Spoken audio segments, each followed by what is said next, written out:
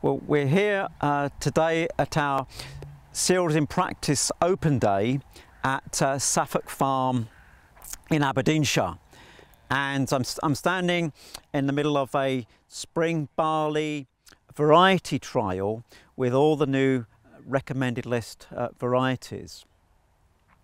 Now in the UK as a whole, the, the malting sector needs more than one and a half million tonnes of spring barley that's split between malt distilling use and brewing use. So malt distilling is predominantly in Scotland and brewing in, in England. So this is uh, the variety Belgravia.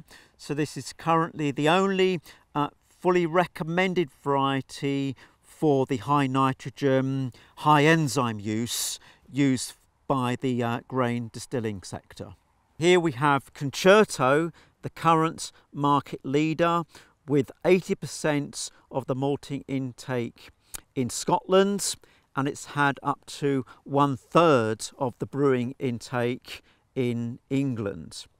So Concerto now, although it's appreciated for its very high quality, has become significantly outclassed for its yield the new variety Laureate's out yields Concerto by 12%, which is a massive yield improvement over a relatively short um, space of time. So this is Sienna. So this is one of a number of varieties. They've been around on the recommended list for a little longer than Laureate's, but because of the wide appeal uh, in Laureate's among the, the, the malting industry. Um, Sienna is likely to be um, overtaken in terms of uh, any interest it has attracted to date.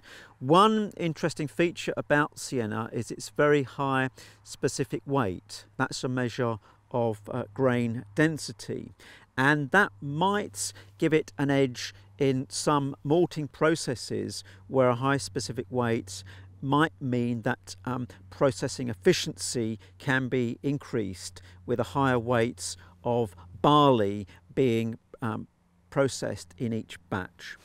And here we have KWS Sassy, another fairly new variety.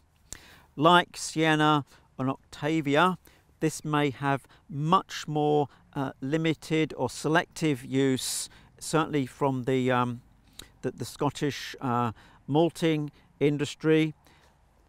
So it's something that growers of these varieties, these new varieties, they do need to consult with their maltster to ensure that, that there is a market for them.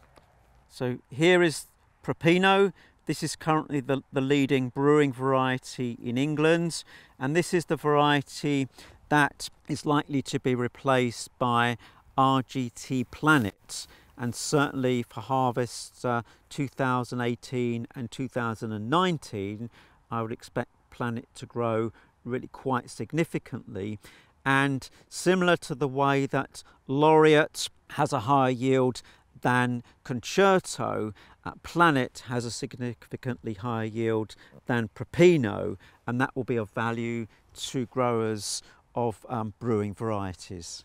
Dioptric is a high yielding barley. It's a barley that will be grown in Scotland only and it has potential use for the high nitrogen, high enzyme market. So it could be a potential replacement for the current standard uh, Belgravia.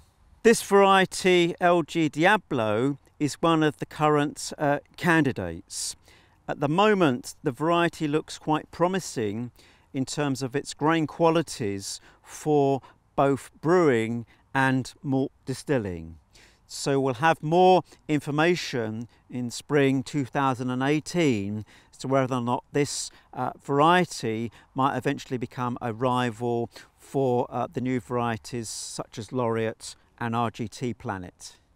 This is Fairing. This is a variety that sh is showing promise for the high nitrogen, high enzyme sector. So Fairing is higher yielding than the current standard uh, Belgravia and it's relatively early maturing.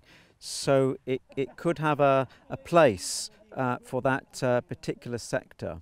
But do note it won't be used for other uh, malting interests such as brewing and malt distilling. Here is Laureate, so a variety that has just got its full IBD approval for brewing and distilling, the variety that's attracted a lot of interest from the malting sector and also the seed trade have put effort into multiplying up uh, a large bulk of seed for sowing spring 2018. Here is Octavia. So one of the varieties, again uh, I've suggested it's, it's been around a little bit longer than Laureate, but because of Laureate's rise, it may miss out on an opportunity to develop a large market share. Like Concerto and Laureate, Octavia has this dual purpose for brewing and malt distilling. RGT Planet, this variety is predicted to become the major brewing variety in England over the next two years. So that means it will compete and possibly eventually replace the variety Propino.